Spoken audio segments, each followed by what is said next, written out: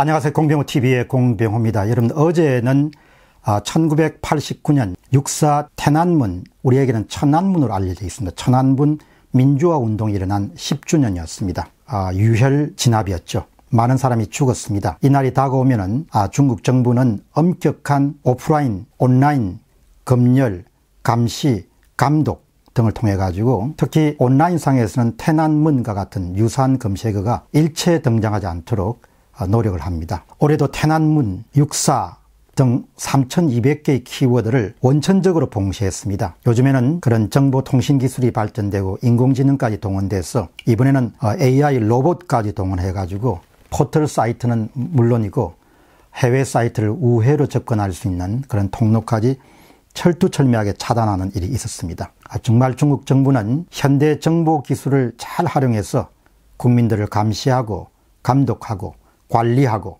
통제하는데 상당한 어, 역량을 발휘하고 있었습니다.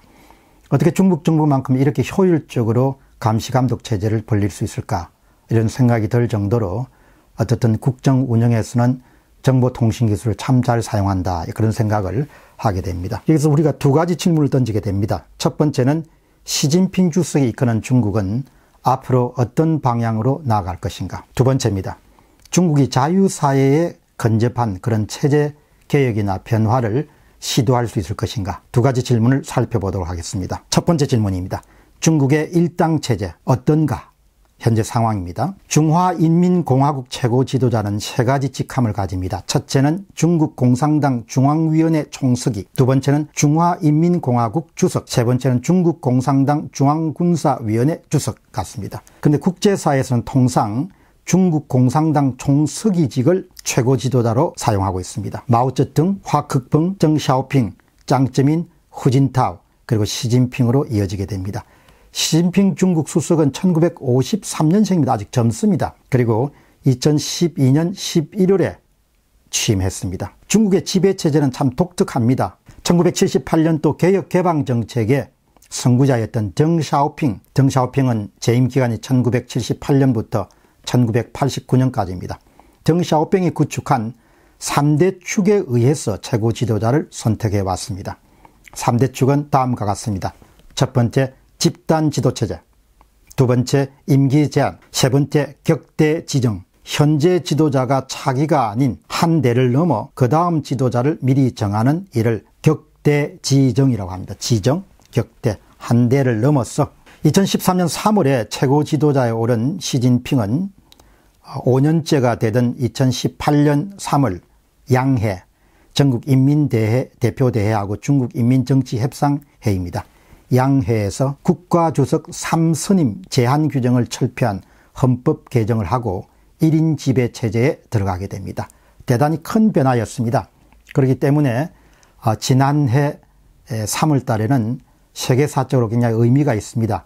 중국이 전체주의 체제를 앞으로도 계속하겠다.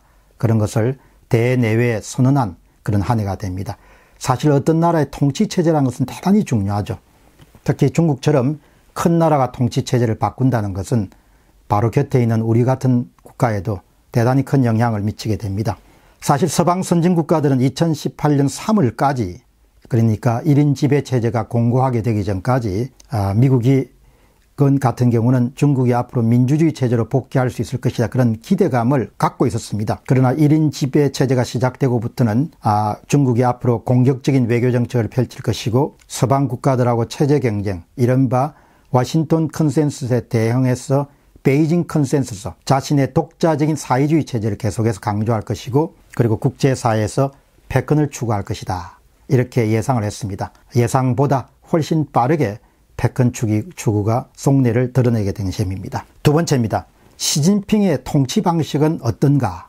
꼭 담은 입에서 여러분이 느끼고 계신 것처럼 그런 대단히 전략적인 인물입니다. 반대편에서는 엄험한 인물이라고 그렇게 비난하기도 합니다. 반부패 운동을 벌려서 반대파를 제거하고 정교한 대중 이미지 조작 그리고 대대적인 우상화 작업을 통해 가지고 누구도 예상치 못한 친근한 이미지 지도자상을 정착시켜서 조기에 지배체제를 공고히 하는 데 성공했습니다. 시주석의 장기 계획은 이미 2018년 이전부터 시작되었습니다. 2017년 10월 19차 당대 이후부터 중국 전역의 감시 및 통제 체제가 강화가 되어 왔습니다. 국민들에 대한 감시 감독을 대폭 강화하고 특히 온라인 검열을 시주석이 주임으로 있는 인터넷 안전정보화위원회가 주도하고 있습니다. 현재 중국 당국은 최첨단 정보통신 기술을 총동원하여 온라인상의 어떤 반대 의견이나 공산당의 비판적인 의견을 제거하고 있습니다. 따라서 모든 정보는 중앙, 중국 공산당 중앙선전부하고 기관지인 인민일보 등 관제 언론에 의해서 공급되는 관제 정보가 주를 이루고 있습니다. 질문 세 번째입니다. 중국의 현 상황을 어떻게 이해해야 되는가? 역사적으로 중국인들은 권위주의 지배 체제에 익숙한 편입니다. 적정 성장, 그러니까 적당한 수준 정도의 경제 성장이 이루어지고 중국 인민들이 반발할 가능성은 크지 않습니다. 중국인들은 현실주의자들의 기질이 강한 그리고 물질을 우선합니다.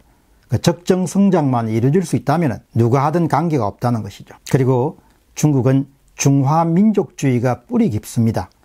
따라서 중국 인들에게 호소력이 큰 것은 민족주의입니다. 강한 성당, 강한 한나라, 번성한 당나라로 상징되는 중화제국 부활을 위해 리더가 절대 권력을 갖고 카리스마가 있는 것은 필수적이다. 이렇게 생각하는 중국인들이 의외로 많습니다. 또 그렇고 그런 의견에 동감한 중국인들도 꽤 많습니다. 현재 중국은 외부로 잘 알려지지 않는 그런 소요와 이런 부분들이 매년 15만 건에서 18만 건 정도가 발생하고 있습니다. 이를 공안을 통해서 이제 통제하고 관리하는데요. 비공식적인 통계에 의하면 공안을 유지하기 위한 정부 예산이 국방 예산을 능가한다고 합니다. 그만큼 체제 유지를 위해서 감시, 감독 기능에 많은 비용을 투입하고 있습니다. 시진핑 치하에서 중국의 진로는 명확합니다. 여러 가지 사회 문제를 해결하기 위해 체제 개혁이 필요하지만 체제 개혁을 시도하는 순간 체제 자체가 넘어질 수 있다는 그런 점을 어, 중국 지배자들이 잘 알고 있습니다. 그렇기 때문에 8천만 아, 명으로 이루어진 공산당 일당 지배 체제를 더욱 공고히 하는 것이 중화민족이 부흥하는 길이다. 이런 판단을 시진핑이 갖고 있다고 봅니다. 이런 차원에서 최근에 엄격한 감시, 감독, 검열, 구검 등 반체제 인사들을 옥죄는 일들이 성행하고 있습니다. 따라서 앞으로 이런 추세는 줄어들 가능성들이 상당히 낮다고 봅니다. 대부분 사람들이 반대 목소리를 낼 수가 없습니다. 중국 체제 하에서는. 그렇기 때문에 대부분 사람들은 어, 생업에 종사하고 그냥 입을 다물 뿐입니다. 그러나 2018년 10월 중국 장애인 연합회 명예회장으로 있는 덩샤오팡의 아들 덩푸팡 74세였습니다.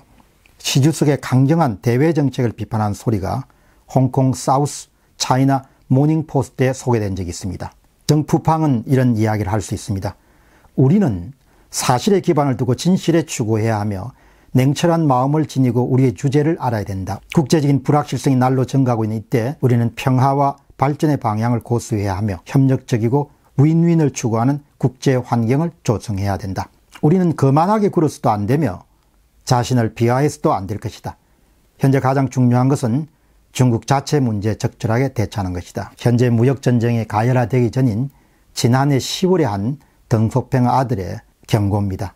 그의 경고가 그대로 맞아 떨어졌습니다. 네 번째입니다. 중국의 미래, 관건은 무엇인가? 중국 경제가 계속해서 적정 성장을 확보할 수 있는가라는 부분이 대단히 중요한 관전 포인트입니다. 여기서 적정 성장이란 것은 사회적 안정을 확보할 수 있을 만큼 성장률을 계속 기록하는 겁니다.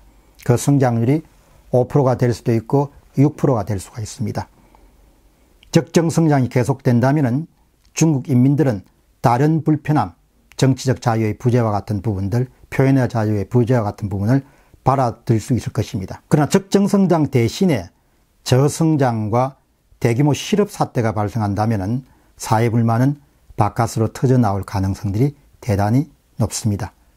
문제는 경제입니다. 경제.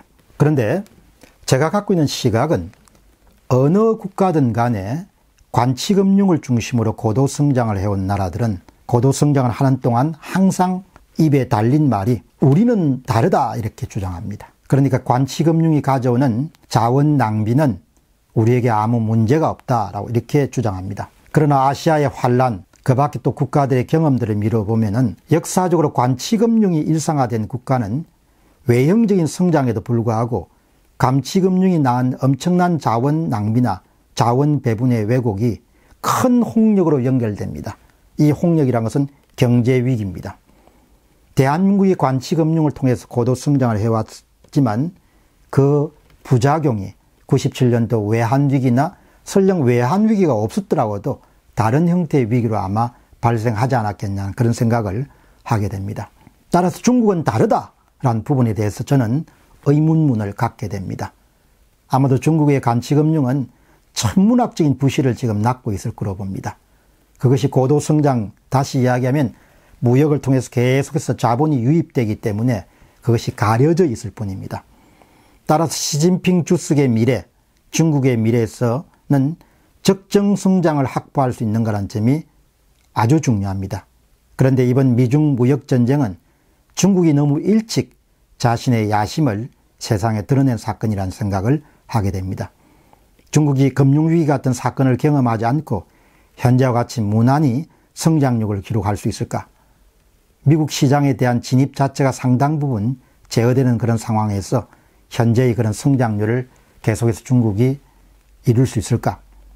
그리고 중국의 정보통신 기업과처럼 앞서가는 그런 기업들에 대한 미국 정부의 철저한 그런 견제가 있을 때 자신들이 기대한 그런 성과를 기록할 수 있을까? 이런 부분을 생각하게 됩니다. 이번 방송을 준비하면서 아, 중국의 부실 문제, 중국의 경제위기 발생 가능성을 다음번에 한번 다루어야겠다는 생각을 하게 됩니다. 어떻든 적정 성장을 유지할 수 있을 것인가? 그것이 시진핑 주석의 앞날과 중국의 미래에 결정적인 영향을 미칠 사건입니다. 공병호 TV의 공병호였습니다. 감사합니다.